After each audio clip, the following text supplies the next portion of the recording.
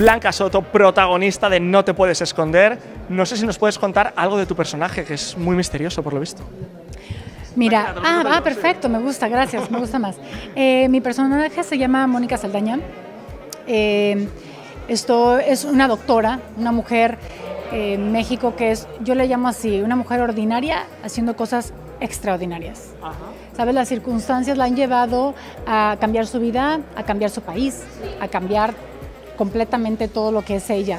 Eh, por el amor de su hija y por sacarla de un país donde está sufriendo ciertas cosas, verdades ocultas que ya verán y irán descubriendo durante el largo de la, de la serie.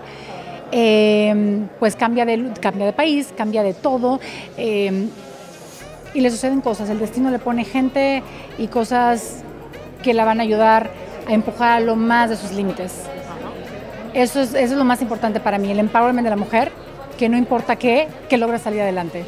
¿Sabes? Imagínate una mujer que tuvo una hija muy joven, que no pudo terminar la carrera por tener a la hija joven, esto de caso joven, termina en divorcio eh, y a pesar de todo terminó su carrera a base de lucha, de trabajo eh, cuando lo logra le suceden estas cosas que tiene que huir y ahora tienes que empezar de cero.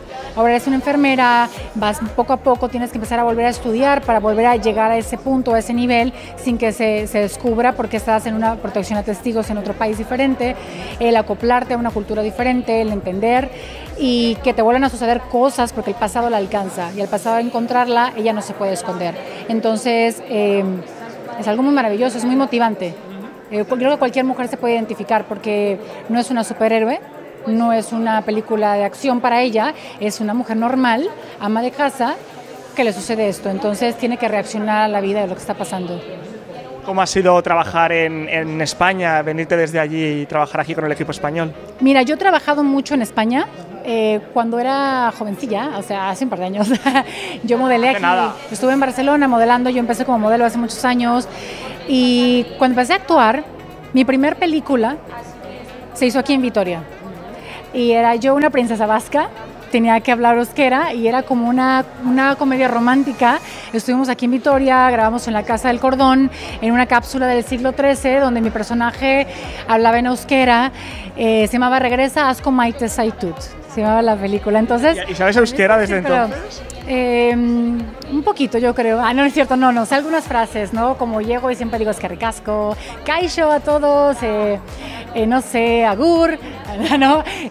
Cosas pequeñas. Sobre todo, tuve un coach maravilloso, Javier Tolosa, que es un chico de Irún, que es un actor muy querido de todos ustedes, que ha trabajado también con Isla, que era mi coach y el personaje de comedia de la, de la película.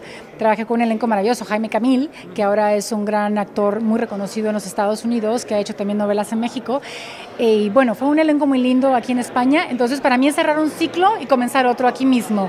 España ha sido como algo, un, centro importante para mí. Me decía ahorita Iván y Eduardo, es que tú tienes algo con España, siempre regresas y haces cosas lindas.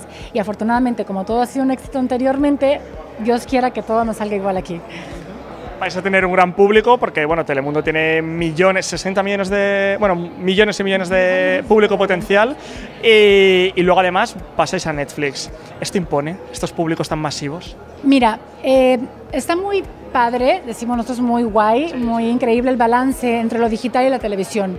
Yo he hecho las dos cosas, he hecho cine, he hecho teatro, pero ahora que se maneja la parte de los milenios, ¿no? La parte digital que todo el mundo ve o la parte televisiva, es muy diferente el público, pero a la vez es igual. Cuando tienes una buena historia, un buen melodrama, eh, un buen trabajo actoral, grandes directores, yo creo que puede funcionar en los dos lados. Eso es lo que estamos apostando, que la gente que le gusta ver 125 capítulos, un formato de telenovela en, en casa, pueda sentarse a ver también 10 capítulos seguidos. Creo que, que, que, puede funcionar, eso es lo que queremos hacer, mezclar la parte del talento de, los actores y llevarlos a, a, a, Ahora sí que es una aventura más rápida, ¿sí me entiendes?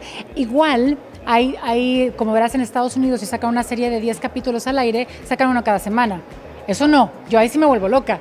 Yo creo que es increíble que aquí sean todos los días, porque en dos semanas, listo, lo tienes. Y Netflix, Telemundo tiene una gran... Em, un gran trabajo con Netflix, se lo han hecho. Yo mis series, yo hice anteriormente varios trabajos con ellos, pero Señora Cero fue una serie muy importante para Telemundo y para mí, que ese televisor también está en Netflix. Entonces, tengo muchas cosas que, en común ya hemos trabajado. Es, es, muy interesante la parte de plataforma digital y la parte televisiva. Y, y, pues ojalá funcione porque es una, es una gran mezcla para España y México trabajando juntos. Abriría muchos caminos para todos los productores bueno, frente y tras de cámaras para que podamos seguir realizando proyectos que nos funcionen a los, a los dos países. Oye, pero es que a mí me ha llamado mucho la atención que en, en Telemundo los emiten de lunes a viernes los episodios, o sea, si son 10 episodios, en dos semanas se acaba. Se acaba. Pero esto no es una pena porque con lo, todo lo que trabajáis, de repente, ¡pum!, se pasa súper rápido. Claro, pero al contrario, lo increíble sería que eso es lo, lo que yo quiero cuando la gente termine y diga, quiero más, quiero más, quiero más, ¿sabes? Que quieran ver más. Ya sea si están viendo Netflix, que la acaben y que digan cuándo sale la segunda temporada. Igual en televisión. Yo creo que es, que es lindo que se vaya, pero sí, bueno, muchísimo. Yo llevo un año y medio en este proyecto desde que se me presentó. Me dijeron, ¿quieres producir con nosotros? Dije, listo, porque llevo tres años fuera de televisión, pero detrás de cámaras he estado produciendo. Tengo dos proyectos que estoy ya trabajando en ellos, donde no aparezco, pero ahí estoy todo el tiempo. Y cuando se me presenta ese proyecto, el elenco, dije, chicos, estoy adentro. Y a nivel actoral, cuentan conmigo al 100%. Entonces, creo que, que bueno, creo que, que, va a funcionar.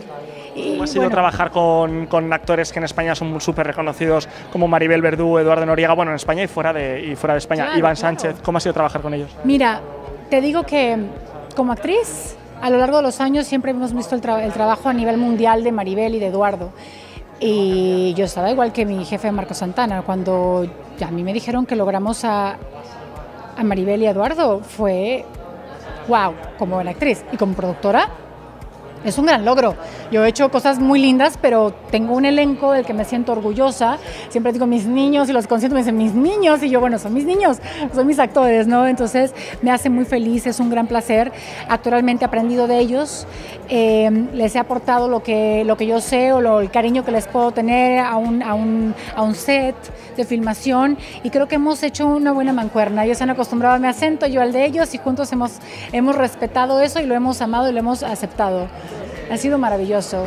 Muy bien, bueno, pues muchísima suerte con el estreno de No te puedes esconder, estaremos atentos y ojalá haya más temporadas, ¿no? Ojalá que sí, eso ya depende de ustedes. Se les quiere. A ver, no. Musus. Ah.